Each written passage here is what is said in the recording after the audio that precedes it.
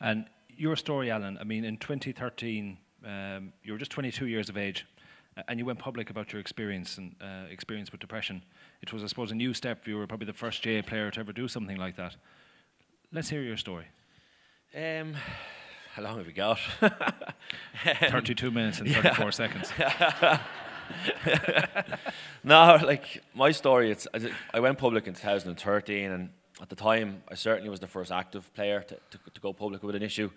There'd been other guys that discussed issues probably when they retired and were reflecting back on diff different spells of their lives, but I suppose I sort of had a conversation when it was still, I was just out the other side of it, but I probably wasn't I was still sort of in it, to be honest. Um, but no, I trace it back to 2011. I was playing for Cavan in another 21 All Ireland final, and we were beaten that day by Galway. And we'd won an Ulster campaign. It was just a great time. As, as, a young as a young man, it was something I dreamt about doing for a long time, playing, being in a group that I'd grown up with. But I suppose in the aftermath of losing that final, and we've talked about resilience there, my, resilience, my resilience skills are more or less nil point.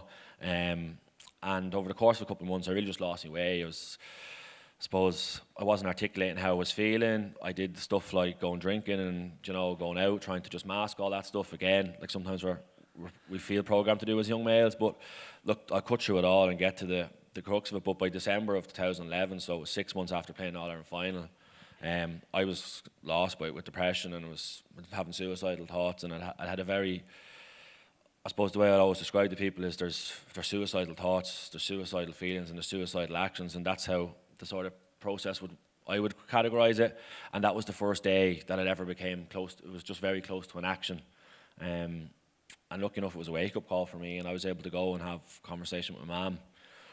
Um, from there, then brought into services. So it's actually I was brought into a counselling program,